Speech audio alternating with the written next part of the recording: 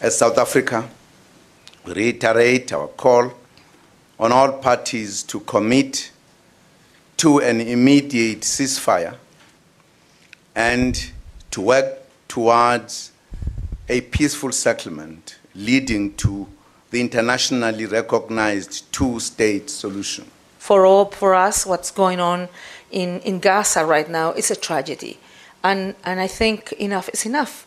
And we need to look at what other kind of initiative we can take, not only as a country, but as international community, to really stop this tragic situation.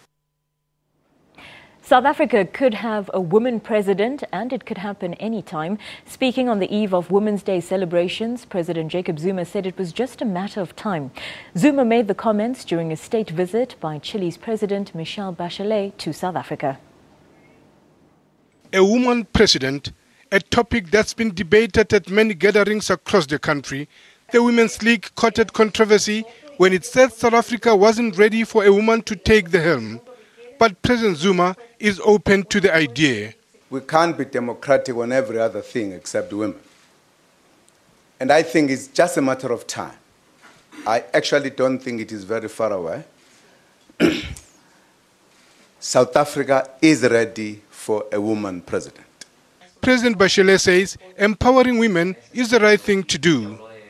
Women are powerful actors of social development, they are powerful actors of their communities. I will say to invest in women. And when I say investing, I mean socially, economically, and politically. President Zuma and his counterpart, President Michelle Bachelet, both agreed that the two countries have to enhance relations between them and to make sure that they support each other as South to South countries. The two will explore cooperation in areas like energy and defense and science and technology, amongst others. Chile has expressed an interest in South Africa's master energy plan, and we have agreed that dialogue between the relevant ministries should take place to discuss our cooperation. On foreign issues, both countries agreed to find a common position in relation to the reform of multilateral institutions. We need to reform uh, a lot of institutions like the Security Council, but also financial institutions that will really permit that the world goes uh, and, and, and works in a way that is fair.